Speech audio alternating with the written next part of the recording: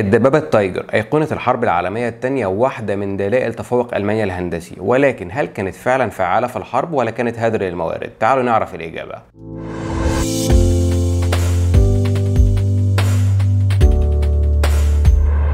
السلام عليكم ورحمة الله وبركاته. معكم محمد حسني واهلا بيكم في حلقة جديدة من برنامج War Bus برنامج اختصار war and business الحرب وال business. واهلا بيكم في أول حلقة من سلسلة معركة وسلاح ودرس. والهدف من السلسلة إن إحنا نناقش وندرس أهم المعارك والأسلحة على مدار التاريخ العسكري ونشوف مدى فعاليتها في المعارك. مدى فعاليتها في المعارك ومدى تأثيرها على الصورة الكبيرة وهي الحرب نفسها. بس الأهم إن إحنا نطلع بدروس عملية مستفادة نقدر نطبقها في حياتنا وفي شغلنا. وكان لازم أول حلقة نبدأ بأشهر أيقونة في الحرب العالمية الثانية في الحرب البرية وهي الدبابة التايجر. حلقة النهارده مهداه للمشترك ميدو الكريزي لأنه من عشاق ألمانيا والدبابة التايجر. وأنا عارف إن هو هيختلف معايا في حلقة النهارده ولكن دايما اختلاف الآراء فرصة ممتازة للنقاش وتبادل الأفكار. ونبدأ الحلقة من النهاية. ملخص رأيي ورأي كل العسكريين المعاصرين إن الدبابة التايجر كانت تحفة هندسية كابوس ميكانيكي نجاح تكتيكي فشل استراتيجي. ونقف دقيقة هنا ونركز على كلمة تكتيكي واستراتيجي. تكتيكي اللي بيركز على الصورة الصغيرة أما استراتيجي فاللي بيركز على الصورة الكبيرة. ولما نطبق الفكرة على الدبابة التايجر فالتكتيكي هو تأثير الدبابة التايجر على المعارك المباشرة اللي كانت بتدخلها. أما استراتيجي فهو تأثير الدبابة التايجر على مسار الحرب بشكل عام. وتعالوا ندرس الدبابة التايجر بشكل أوسع ونشوف مدى تأثيرها على الصورة الكبيرة ومسار الحرب بالنسبة لألمانيا. الدبابات في الحرب العالمية الثانية كانت دايما مقسومة إلى ثلاث أنواع دبابات خفيفة ومتوسطة وثقيلة. الدبابات الخفيفة كانت أولى الدبابات اللي تم تطويرها وكانت بتستخدم في عمليات الاستطلاع وكانت هي محطة التجارب للدبابات الأكبر منها. والدبابات المتوسطة كانت العمود الفقري لكل الدول المحاربة في الحرب العالمية الثانية أما الدبابات الثقيلة فهي راس الحرب بالنسبة للقوات المدرعة وهدفها هو اختراق دفاعات العدو وتسهيل عمل الدبابات المتوسطة. بالنسبة لألمانيا في الحرب العالمية الثانية فكانت بتمتلك الدبابات الخفيفة بانزر 1 و2 أما الدبابات المتوسطة فكانت بانزر 3 وبانزر 4 والشتاج أو الشتوج واللي كان دايما مبني بشكل أساسي على شاسيه دبابة بانزر 3 وطبعا الدبابة البانثر واللي كانت الاستجابة الألمانية المباشرة للدبابة السوفيتية تي 34 البانثر كانت هي التطور الطبيعي للدبابة بانزر 4 وبالنسبة للدبابات الثقيله فكانت أيقونة الحرب العالمية الثانية وهي التايجر 1 وبعدين التايجر 2 فكرة ال heavy tank أو الدبابات الثقيلة بدأت سنة 1937 مع شركة هنشل الألمانية. الجيش الألماني كان بيدور على دبابة ثقيلة مساندة للدبابات بانزر 3 وبانزر 4 وكان المفروض يكون وزن الدبابة 33 طن ولكن بعد فترة تم عمل تعديل للدبابة عشان يكون وزنها 40 طن.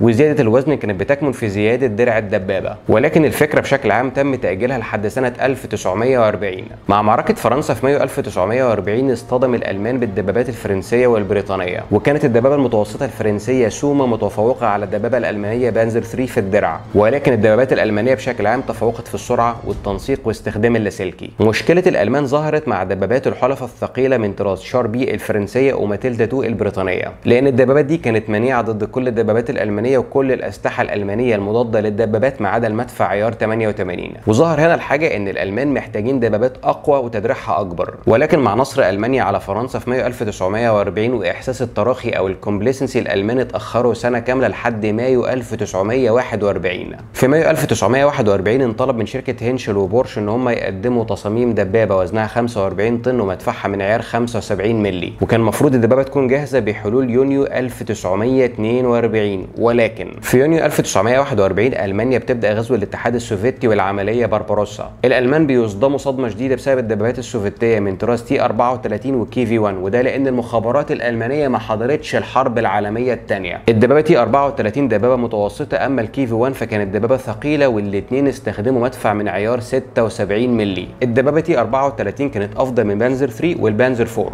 أما الكي في 1 فكانت منيعة ضد كل الأسلحة الألمانية المضادة للدبابات حتى المدفع عيار 88 علشان المدفع عيار 88 يقدر يدمر دبابة كي في 1 كان بيحتاج مجموعة قذايف مش قذيفة واحدة. ودي كانت صدمة قاسية للألمان لأنهم دايما كانوا بيشوفوا السوفيت على أساس إنهم sub humans أو أشباه بشر. وسبب الصدمة إن إزاي أشباه بشر أو sub humans يعملوا حاجة متفوقة على الدبابات الألمانية. ومن النقطة دي تم تعديل المعايير علشان يكون وزن الدبابة 50 طن ومدفعها من عيار 88 مللي لأنه المدفع الوحيد اللي كان فعال ضد الدبابات السوفيتية. تصميم الدبابات تايجر كان مشابه لتصميم البانزر 4 ولكن وزن التايجر كان ضعف وزن البانزر 4 التايجر كان وزنها 56 طن أما البانزر 4 كان وزنها 27 طن. سبب زيادة الوزن هو استخدام المدفع عيار 88 مللي والدرع السميك للتايجر الدرع الأمامي كان سمكه 100 ملم أما درع المدفع كان سمكه 120 ملم والدروع الجانبية كان سمكها 80 ملم وفي صفائح حماية جانبية سمكها 60 ملم التايجر ما استخدمتش ال sloped armor أو الدرع المائل واللي كان موجود في البانثر والتايجر 2 استخدمت الدرع المستقيم ولكن نوعيته كانت عالية. من الناحية الهندسية الدبابة التايجر كانت تحفة هندسية. ولكن من الناحية الميكانيكية كانت كابوس ميكانيكي. علشان وزن الدبابة 56 طن كان من الصعب جدا إن هو يتم التحكم بيها باستخدام أساليب القيادة العادية في الدبابات الثانية علشان كده تم تطوير أول power steering أو دريكسيون power للدبابة التايجر الدبابة التايجر كانت أول مركبة أرضية في التاريخ تستخدم ال power steering أو الدريكسيون ال power وده خلى التحكم في الدبابة سهل جدا مقارنة بوزن الدبابة وحجمها الكبير. ولكنه على الرغم من كونه تحفة هندسية إلا إنه كان كابوس ميكانيكي إذا حصل فيه أعطال. طبعا أنا بتكلم عن أعطال بتحصل في ظروف المعارك والعمليات. مشاكل الدبابة التايجر ظهرت مع استخدام المحرك. الدبابة استخدمت محرك مايباخ قوته 700 حصان ولكن كان أداؤه ضعيف مقارنة بوزن الدبابة واللي كان 56 طن. ولكن كان ده أفضل محرك متوفر للألمان في الحرب العالمية الثانية وبشكل عام أقوى محرك اتوفر في الحرب العالمية الثانية كان قوته 750 حصان. أي نعم إن المحرك كان مصدر مشاكل وأعطال بالنسبة للدبابة التايجر ولكن السبب الرئيسي لأعطال الدبابة التايجر كان نظام ال suspension أو نظام المساعدين. نظام ال suspension أو المساعدين الموجود في الدبابة التايجر كان مسؤول عن تدمير أكبر عدد من الدبابات في المعارك. الدبابه التايجر كانت أول دبابة ألمانية تستخدم ال overlapping wheels أو العجلات المتداخلة مع بعض. النظام ده كان موجود في السيارات المدرعة الألمانية من البداية ولكن التايجر كانت أول دبابة تستخدمه. وملخص النظام ده إن عيوبه أكتر من مميزاته. وهنا أول درس عملي في حلقة النهارده هو الاعتماد على الحل العملي مش الحل المثالي. الحل العملي اللي أقدر أستخدمه كل يوم بشكل عملي بنسبة أعطال قليلة. أما الحل المثالي فهو الحل الأمثل على الورق ولكن تنفيذه صعب جدا في أرض الواقع. دايما الصح إنك تستخدم الحل العملي وليس الحل المثالي. أما المهندسين الألمان فعملوا العكس بالظبط واستخدموا الحل المثالي على الحل العملي. مميزات ال overlapping wheels أو العجلات المتداخلة هي أول ميزة هي أداء أفضل على الطرق الغير ممهدة وده فعلا بيقدم أداء أفضل للدبابات والمدرعات الألمانية مقارنة بباقي دبابات الحلفاء. ضيف على كده إن لو واحدة من العجلات اتعطلت فالدبابة بتكمل عادي لأن بيكون فيها ثلاث صفوف من العجلات. خلصنا المميزات ندخل بقى في العيوب واللي عددها أكبر بكتير. أول عيب إن النظام ده معقد جدا ومكلف جدا في التصنيع وما تقدرش تنتج عدد كبير من الدبابات بسببه وبالنسبة لصيانته فكانت عبارة عن كابوس ميكانيكي لأن تغيير عجلة واحدة من العجلات بيحتاج إلى تغيير تسع عجلات معاها. لكن النقطة الأخطر إن النظام ده حساس فلو الدبابة اتعرضت للجليد أو للطين أو الوحل فده بيؤدي إلى تعطل النظام بالكامل. الجليد أو الطين أو الوحل يبقى إحنا بنتكلم عن الاتحاد السوفيتي. وعلى عكس المعلومة المنتشرة فالسبب الاكثر في تعطل الدبابات الألمانية على الجبهه الشرقية ما كانش الجليد. وإنما حاجة اسمها распутица. وال распутица هي كلمة روسية بترمز إلى المطر الموسمي اللي بيحول الأرض إلى مستنقعات وحل وطين. مستنقعات وحل بتخلي تحرك الدبابات أو المدرعات أو أي مركبة أمر مستحيل زي ما هو واضح في الصور. ال распутица كان هو العدو الأكبر للدبابات والمدرعات الألمانية على الجبهة الشرقية. لأن على النقيض السوفيت وهم بيصمموا دباباتهم كانوا حاطين في حسابهم ال распутица وكل عوامل التعرية القاسية اللي موجودة على الجبهة الشرقية. أما الألمان فكانوا بيحاولوا يصنعوا تحف هندسية وحلول مثالية بعيدة عن العالم الواقعي. معظم الدبابات الألمانية من طراز تايجر لم تدمر بسبب دبابات العدو إنما بسبب تعطل نظام المساعدين والعجلات. لأن زي ما قلت تغيير عجلة واحدة بيحتاج إلى تغيير تسع عجلات يعني كابوس ميكانيكي وأنت دايما في حالة حرب وظروف معارك وعمليات. فكان اطقم الدبابات الألمانية بيدمروا الدبابة قبل ما توصل للعدو في حالة ما قدروش يصلحوا مشكلة العجلات ونظام ال suspension. ده طبعا غير مشاكل المحرك بسبب وزن الدبابة اللي وصل 56 طن. تكلفة إنتاج دبابة تايجر واحدة تساوي تكلفة إنتاج دبابتين بانزر 4 وأربعة من مركبات ال StuG. وغير التكلفة طبعا تعقيد الصناعة والتكنولوجيا واللي صعب الإنتاج لدرجة إن ألمانيا انتجت بس 1347 دبابة تايجر. وده عدد قليل جدا على الهدف الأساسي من الدبابة وهو التايجر كانت سلاح هجومي وكانت هي رأس الحربه بالنسبة للقوات المدرعة الألمانية. التايجر كانت هتكون في كتائب دبابات ثقيلة مستقلة متوزعة على فرق الدبابات الألمانية. كل كتيبة مكونة من 45 دبابة والكتيبة دي كان المفروض تكون راس الحربة اللي بتخترق صفوف العدو ودفاعاته وتفتح الطريق للدبابات المتوسطة. ولكن بسبب التكلفة وتعقيد الدبابة الإنتاج بدأ في شهر أغسطس 1942 بمعدل 25 دبابة شهريا. وأعلى معدل كان في إبريل 1944 وهو 104 دبابة. وهنا ظهرت مشكلتين لألمانيا. المشكلة الأولى إن معدل إنتاج الدبابة التايجر كان قليل جدا مقارنة حتى بمعدل إنتاج ألمانيا في الدبابات. وبالتالي ما توفرتش بأعداد كافية لدرجة إن أكبر عدد من دبابات التايجر كان في الخدمة الفعلية في أي وقت من الحرب كان 671 دبابة على كل الجبهات. وده رقم ضئيل جدا لما تعرف إن السوفيت أنتجوا أكتر من 100 ألف نسخة من ال T 34 والأمريكين أنتجوا أكتر من 50 ألف شيرمان. المشكلة الثانية والأخطر إن التايجر سلاح هجومي ولكن لما دخلت الخدمة في الجيش الألماني بأعداد كافية وده ما حصلش غير سنة 1943 كانت ألمانيا تحولت للدفاع. وبالتالي أجبرت أفضل دبابة في الحرب العالمية الثانية إنها تتحول إلى سلاح دفاعي وتعمل نفس دور الاستج يعني التايجر تحولت من دورها الهجومي الأساسي إلى دور الاستج ولكن أغلى أربع مرات من الاستج أخطر مشكلة تعرضت ليها الدبابة التايجر إنها دخلت الخدمة بسرعة بدون أي اختبارات. وبالتالي الألمان بدأوا يصلحوا العيوب والأعطال اللي بتحصل من خلال التجربة العملية في المعارك. ودي كانت نفس مشكلة الدبابة البانثر. أول إنتاج كان في أغسطس 1942 وأول مشاركة كانت في معارك لينينجراد في سبتمبر 1942 يعني بعدها بشهر واحد بس من الإنتاج. وكما هو متوقع فالأداء كان ضعيف لأن ما كانش فيه أي اختبارات للدبابة. ولكن للتوضيح الأداء الضعيف كان أداء المحرك ونظام ال suspension والعجلات. أما المدفع وأنظمة التصويب كانت الأفضل على الإطلاق وقتها في الحرب. وما قدرتش أي دبابة للحلفاء إن هي تضاهي التايجر في قوتها لحد دخول الدبابة الأمريكية ام 26 بيرشنج للخدمة سنة 1945 في ديسمبر 1942 الدبابة التايجر بتدخل الخدمة في شمال أفريقيا بأعداد قليلة جدا ولكن كانت متأخرة جدا علشان تعمل فرق. ولكن الاستخدام الأكبر والمشاركة الأكبر ونسبة الخسائر الأكبر للتايجر كانت في أكبر معركة دبابات في التاريخ وهي معركة كورسك في يوليو 1943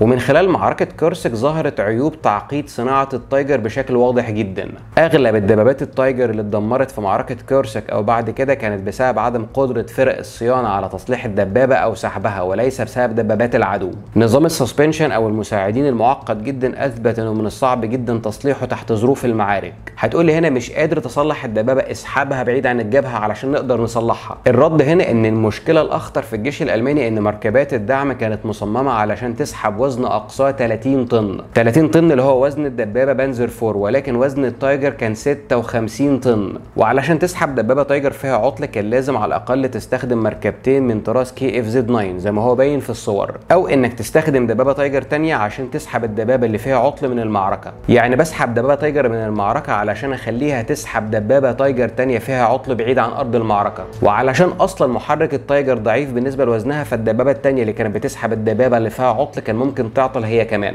لأن المحرك ال 700 حصان في موقف زي كده مضطر إن هو يسحب وزن أكتر من 110 طن. نسبة الأعطال في الدبابة التايجر انعكست على نسبة الاعتمادية. سنة 1943 كانت نسبة الاعتمادية في الدبابة التايجر هي 36% ودي نفس نسبة البانثر. وده لأن الدبابتين دخلوا الخدمة بدون أي اختبارات وده مقارنة ب 70% للبانزر 4 والستاج. النسبة دي اتحسنت سنة 1944 وطبعا نسبة الاعتمادية على الجبهة الغربية كانت أفضل من الجبهة الشرقية لأن الطرق كانت أفضل. وجود الدبابة التايجر في أي جبهة كان سبب قلق ورعب كبير جدا لدبابات الحلفاء. وده لأن المدفع عيار 88 كان يقدر يصيب أي دبابة من دبابات الحلفاء على بعد 2 كيلومتر في حين إن مدى دبابات الحلفاء كان اقصاه 1 كيلومتر. وضيف على كده إن الدرع الأمامي للتايجر كان مانع ضد كل دبابات الحلفاء المتوسطة. ولكن لحسن الحظ الدبابة كانت موجودة بأعداد قليلة جدا علشان تعمل فرق في المعارك. نقولها بطريقة تانية. لو دبابات الحلفاء اصطدمت بالتايجر في المعارك فده علشان حظهم سيء مش علشان الدبابة منتشرة. ولكن وجود دبابة تايجر واحدة بس في القطاع كانت كفيل إن هي تسبب رعب لكل دبابات الحلفاء وكاستجابة سريعة من الحلفاء فبريطانيا طورت الشيرمان فاير فلاي وهي نفس الدبابة الشيرمان ولكن تم تغيير المدفع بمدفع أقوى وأكبر عشان يقدر يواجه التايجر.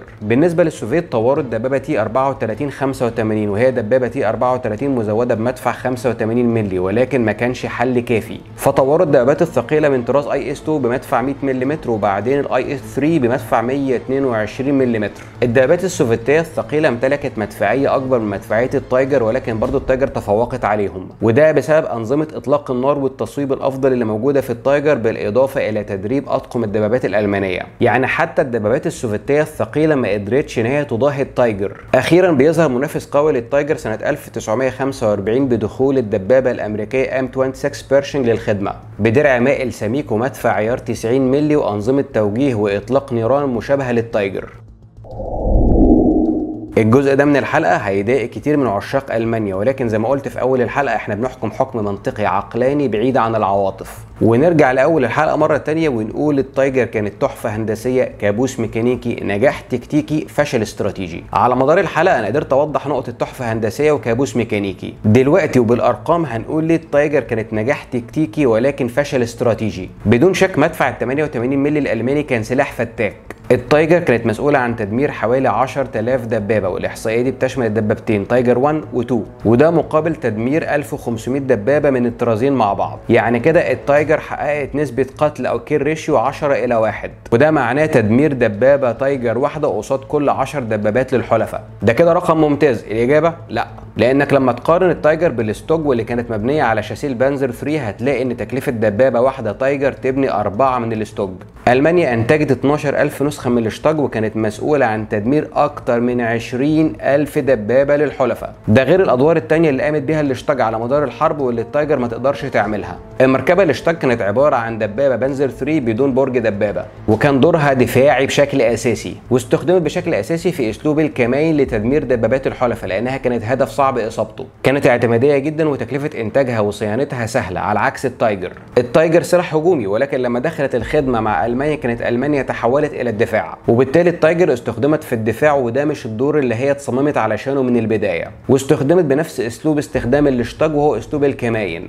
يعني التايجر تحولت إلى اشتاج بس بتكلفه أغلى أربع مرات. ضيف على كده إن استخدام الدبابة التايجر بأسلوب دفاعي أدى إلى نسبة أعطال أكبر لأن الدبابة كان لازم تتحرك كتير علشان تسد الثغرات اللي موجودة في الدفاعات الألمانية. وده مش الغرض الأساسي اللي الدبابة التايجر اتصنعت علشانه. وده هيوصلنا للدرس العملي الثاني في حلقة النهارده هو درس التوقيت. الأهم من الخطة الصح إنك تنفذها في التوقيت الصح. ألمانيا اتأخرت كتير في تطوير الدبابات الثقيلة فلما دخلت الدبابة التايجر للخدمة كانت ألمانيا تحولت إلى الدفاع. وبالتالي الدبابة التايجر تم استخدامها بأسلوب دفاعي وده مش الأسلوب اللي هي اتصممت علشانه من البداية. وضيف على كده إن هي ما أنتجتش بأعداد كبيرة علشان تعمل تأثير في الحرب. وعلشان كده نجحت تكتيكيا في المعارك اللي شاركت فيها ولكن فشلت في تغيير مسار الحرب بالنسبة لألمانيا. طيب طالما الدبابة التايجر فشلت إيه الصح اللي كان المفروض ألمانيا تعمله؟ بداية من سنة 1943 لما ألمانيا لاحظت إن هي تحولت إلى الدفاع كان المفروض توقف إنتاج الدبابات التايجر. وتركز كل مجهودها على إنتاج الأسلحة الدفاعية وعلى رأسها الشتوج. ولو هتصنع دبابات فتصنع الدبابات بانزر 4 أو البانثر لأن البانثر كانت أفضل من بانزر 4 وتكلفة الإنتاج واحدة. لكن ده ما حصلش وألمانيا أصرت على إنتاج التايجر 1 وبعدين زودت الأمور سوءا بإنتاج التايجر 2 لأن التايجر 1 كانت إلى حد ما ناجحة تكتيكيا أما التايجر 2 فكانت فشل تكتيكي فشل استراتيجي. بس قبل ما أقفل لازم اكد على الدرسين العمليين المهمين المستفادين من حلقة النهارده. الدرس الأول ركز على الحل العملي مش الحل المثالي. الحل العملي هو الحل اللي تقدر تنفذه يوميا بشكل عملي. وتفادى الحل المثالي إنه بيكون مثالي على الورق بس ولكن عمليا ما بتقدرش تنفذه بشكل يومي. الدرس الثاني التوقيت هو أهم شيء. الأهم من الخطة الصح هو التوقيت الصح. لو عملت الخطوة الصح أو الخطة الصح في التوقيت الغلط فملهاش أي لازمة. ودول الدرسين العمليين المهمين المستفادين من حلقة النهاردة. وكالمعتاد وتنفيذا لقانون بريتو لو عجبك 20% من الحلقة دوس like ما تنساش. واشترك في قناة اليوتيوب أو اعمل follow لصفحة الفيسبوك والاتنين بنفس الاسم وور باس بالعربي. لكن دايما أهم حاجة عندي هي رأيكم في الكومنتات لأن رأيكم فرصة كويسة لتبادل الآراء والأفكار وبيساعدنا على تحسين مستوى المحتوى. وأشوفكم إن شاء الله في حلقة جديدة كل يوم جمعة واثنين والسلام عليكم ورحمة الله وبركاته.